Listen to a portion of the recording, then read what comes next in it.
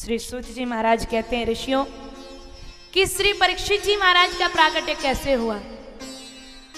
बोले, कि कौरव पांडवों का युद्ध चल रहा था। जब सभी कौरव मारे गए, एकमात्र बचा है दुर्योधन। दुर्योधन असहाय रणभूमि में तड़प रहा है। तो अश्वस्थामा, गुरु द्रोण पुत्र अश्वस्थामा, दुर्योधन के पास जाता है। दुर्योधन का सखा था बोले, अगर तेरे को अपनी मित्रता निभानी है तो तुझे मेरी इस हालत का बदला लेना होगा। और कहा है कि, जा, पांडवों का वध कर दे। अश्वस्थामा क्रोध में वहाँ से चल देता है। इधर कहते हैं कि, जिसको बचाने वाला ईश्वर हो, उसका कोई कुछ नहीं कर सकता। इसीलिए तो कहते हैं कि जाको राखी साइया मार सके ना कोई, और बाल ना बाका कर सके, जो जग बेरी हो। उसका महाराज कोई नहीं, कुछ भी बिगाड़ सकता। ठाकुर जी तो घट घट के जानकार है, सब कुछ पता है। तो पाँचों पांडवों को ठाकुर जी रात्रि में घुमाने के लिए, भ्रमण करवाने के लिए लेके चले गए। और शिविर में पाँचों पांडवों की जगह द्रौपदी के पाँच पुत्र सोए हुए हैं। अश्वस्थामा क्रोध में आया और द्रौपदी के पाँचों पुत्रों के धड़ को अलग करके ले गए।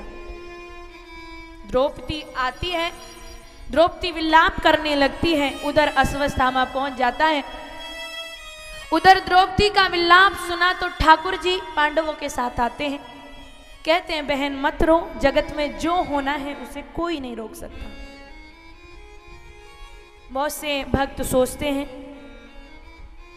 कि किसी की मृत्यु हो जाए कि इस कारण से मृत्यु हो गई या इस वजह से मृत्यु हो गई। नहीं, काल के ऊपर किसी का बस नहीं है। मृत्यु जहाँ लिखी है, आपको वहाँ खींच के लेके जाएगी। तो द्रौपदी को ठाकुर जी समझाते हैं पाँचों पांडवों को ठाकुर जी समझाते हैं, उधर अस्वस्थामा दुर्योधन को जाके दिखाता है।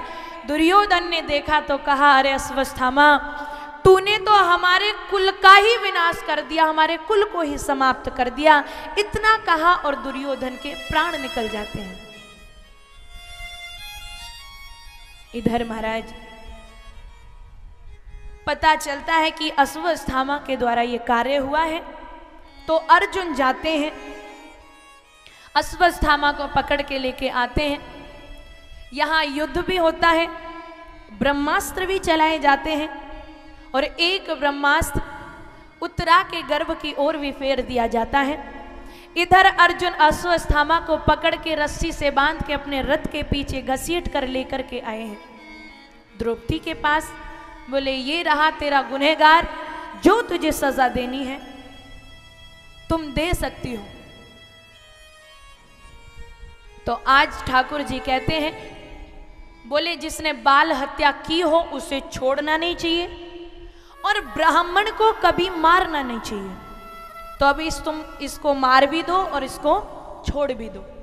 तो अश्वस्थामा के गले में जो जन्मजात मणि थी, उसको निकाल लेते हैं और अश्वस्थामा को धक्के देके वहाँ से बाहर निकाल देते हैं।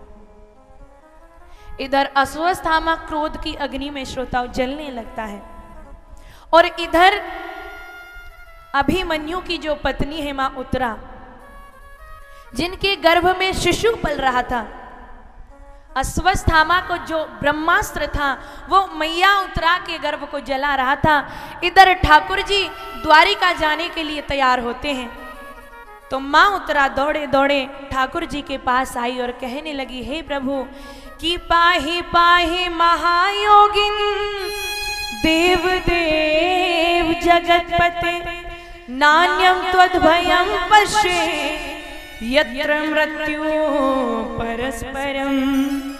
हे गोविंद, हे गोपाल, हे माधव, मेरी रक्षा कीजिए, मैं आपकी शरण में आई हूँ।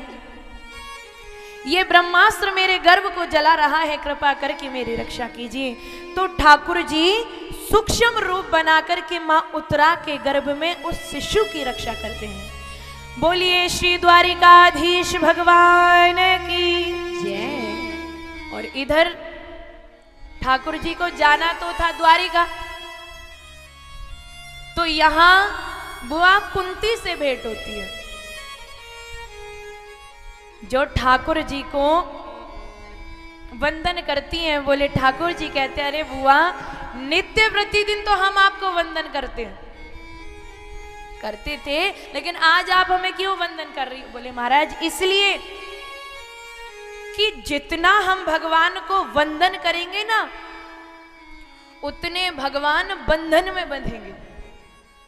ठाकुर जी को बांधना है तो नित्य प्रतिदिन वंदन करते रहिए, सेवा करते रहिए। माता पिता की सेवा करते रहिए। ठाकुर जी बंधन में बंध जाएँगे। तो बोले, महाराज, हे प्रभु, हे ईश्वर, कहने को तो आप मुझे बुआ कहते हो, लेकिन हो तो जगत के पिता आप इसलिए आपको वंदन कर रही हूँ। बोले, आज मैं आपसे ना बड़ा प्रसन्न हूँ, मांग लो आपको क्या चाहिए? बोले, हे ईश्वर, ऐसी कृपा करो कि मेरे जीवन में ना बस दुख ही दुख आए, सुख ना आए बोले, कैसी बातें कर रही हो बुआ? सारा जीवन आपने दुख देखा और मांगने की बारी आई तो भी दुख मांग रही हूँ। और हम क्या करते?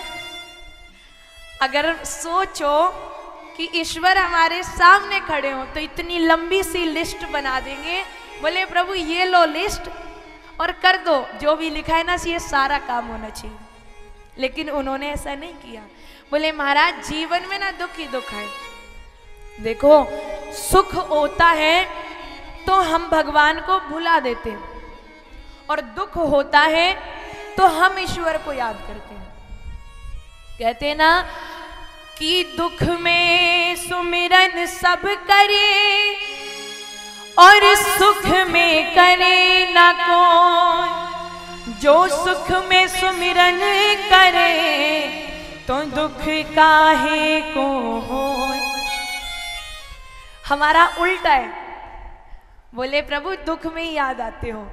मैया कहती है, बुआ, कुंती कह रही है, ईश्वर, ऐसा सुख तो मुझसे कोशों दूर रहे जो तेरे नाम को भुला दे।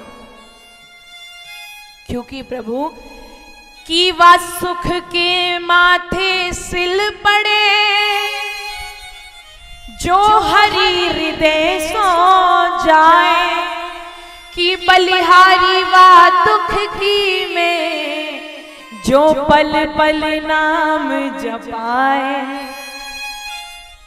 कि वा सुख के माथे सिल पड़े। सिल समझते हो? सिल बट्टा।